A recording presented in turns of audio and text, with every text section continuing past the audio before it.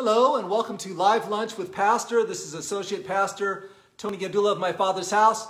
Thank you for joining us today on, what is today anyway? It is the 19th of January.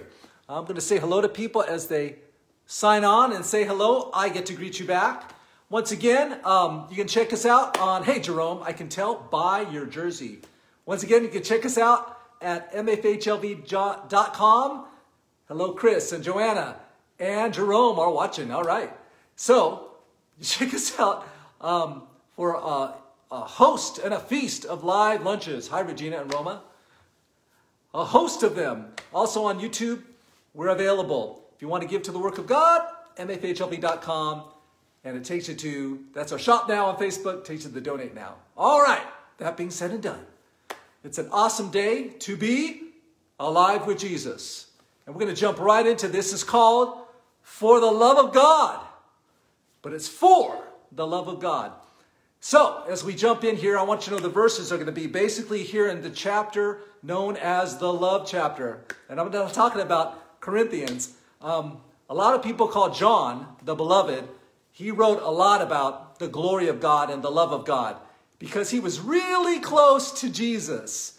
He was so close to Jesus, he missed a lot of bad stuff just by being close to Jesus. So there's a real key there and a power in love. While other people are busy betraying Jesus, and Jesus looks around at a room of disciples and says, One of you shall betray me.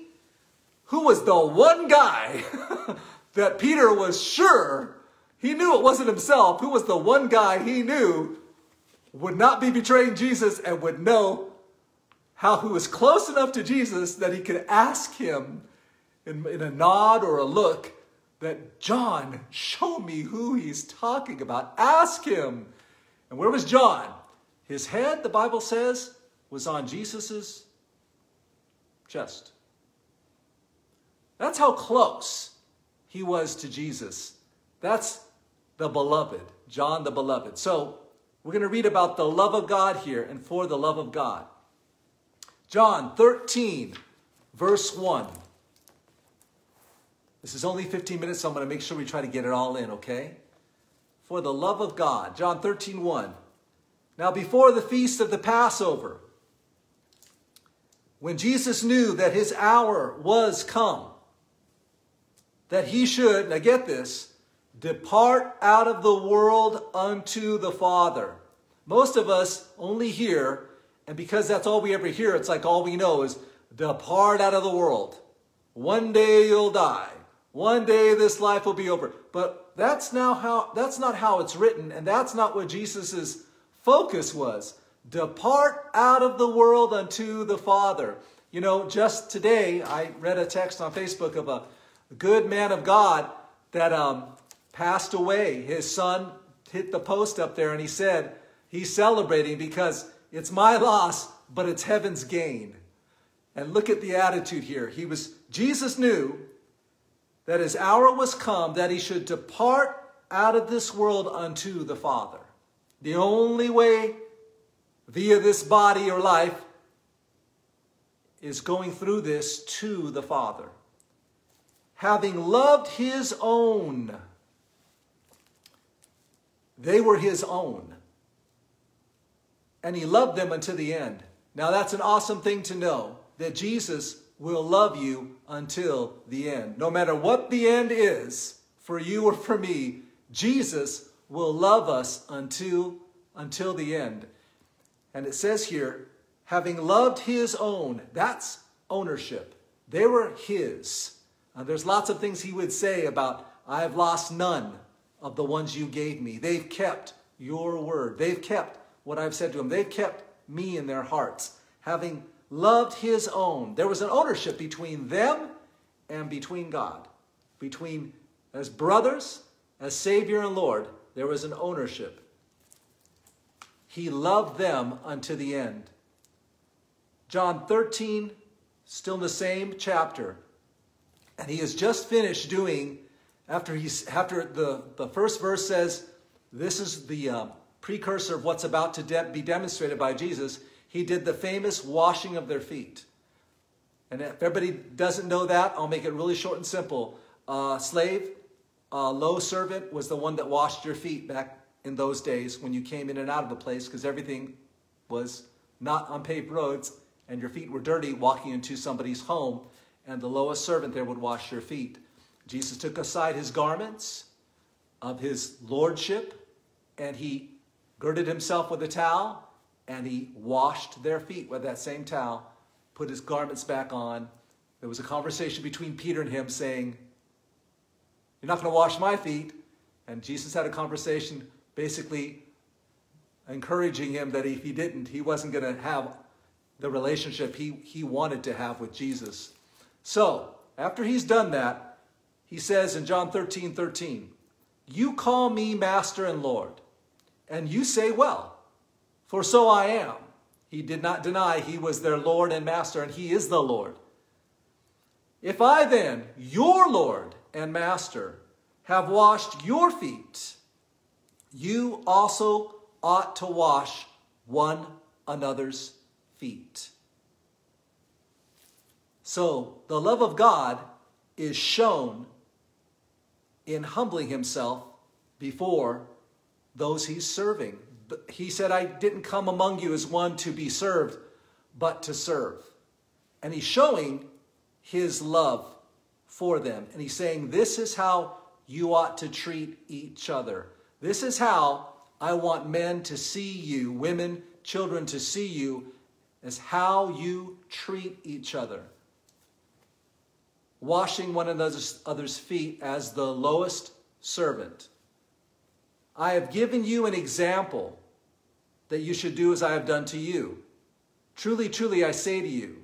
I love it when he says, truly, truly. In other words, this is a fact, this is the way it is twice. Pay attention. The servant is not greater than his Lord. Never going to be as big as Jesus. Neither is he sent greater than he that sent him. Our pastor, Pastor Jose, has talked on this quite a bit that there is no fast tracking with God or like a fast meal, a fast food with the Lord. You have to go through the process, just like Jesus went through a process. Um, if Jesus had to deal with it, then we're not greater than Jesus. We're going to have to learn also like he, like he learned. The Bible says that um, through the things he suffered, he learned. Jesus, through the things that he suffered. If you know these things, happy are you. I don't know about you. Me, I want to be happy. As I go through this life, I want to enjoy it. Um, I'm married. And there's a key awesome verse I love that the Lord showed me one time by humbling me that I'm not going to enjoy this life as a married man to my wife unless I enjoy it together with her. Because he doesn't look at me by myself, he looks at me together with her. He doesn't see me as me, he sees me as us. Two that become one. But going back to this, I want to be happy. And Jesus says there, happy are you if you do them. You're going to enjoy and you're going to be happy in this life. John 13, still in the same chapter. These are the last two verses, verses 34 and 35. Um, it's unique because we are actually doing these scriptures as our scriptures for the uh, month with our youth group, Rise Up Youth Ministries. And they have a little a slogan. It comes actually out of a uh, booklet prepared by Pastors Jose and Tony called Who I Am in Christ. So before each of these scriptures that you would read, um, throughout the day, there's a precursor that starts off like this I am. And then it says who I am as appropriated by these scriptures. I am. And this one says, I am his disciple because I have love for others. I am not just his disciple, but I prove that I am his disciples because I have love for others. And where does that love come from and whose love is it? It's the love of God. The Bible says that he teaches us, which is, I'm so glad, he teaches us to love each other as brothers and sisters. He teaches that to us because you're in the family and dad is dad and he wants his family to show love to one another. Going back to the word here, John 13, verse 34. A new commandment, he's speaking to his disciples. I give unto you that you love one another, or you agape one another, as I have loved you.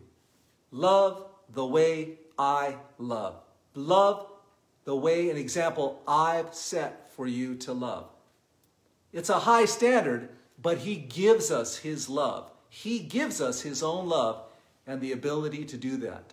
I know that sounds easy to say, but it's a major operation from God. At least it was for me. For some people, my gosh, I know people that have given testimonies of being crazy. I mean, certifiably crazy.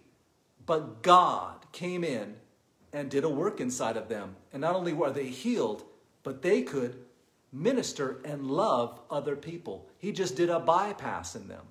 So when we say that we're able to love because of the love of God, it's a salvation or coming to know Jesus or being rescued from your old self to, to come to Christ is a miracle. It is nothing less, nothing short than a miracle. It's not just a prayer, it is an actual miracle that a person has to grab a hold of, hold on to until you're assured. And that's another subject. But um, I'm, I'm saying all that because I doubted. But I held on to that relationship as I wanted it so bad till I knew, hey, I'm different. I'm, I love Jesus. I, and anyway, long story short, it's a miracle. By this shall all men know that you are my disciples. Now, there's lots of disciples out in the world. There's lots of disciplines, if I can put it like that. Maybe that's an easier way of getting it across. There's a lot of things that are out there to disciple people. Culture disciples people. But by this shall all men know that you are my disciples, Jesus said, if you have love one to another. What kind of love? The love of agape, the love that would serve one another and rejoice and rejoice and be happy doing so. In fact, find your happiness in doing that. Praise God. All right. I'm going to say a quick thing about this because our time is running short. The way this was brought across to me very practically by our beloved Pastor Jose was in our marriage, my wife, my wife and I, as we've been married 32 years, we had some rough spots. And I remember he said something to us. It was awesome. He said, when you're in a conflict with that person, you need to ask yourself, what is the best thing for this person right now? Whatever, you're in a conflict, you're confronting one another and maybe not in love at the moment, you're in a conflict, you need to ask, what is the best thing for this person? Not how, not what's going to make me feel good, not what's going to make me feel righted, but what is the best thing for this person? And then the other challenge he gave us was this. Which of you will be the first to repent to the other. It takes two to tango, right? It takes two to get in an argument.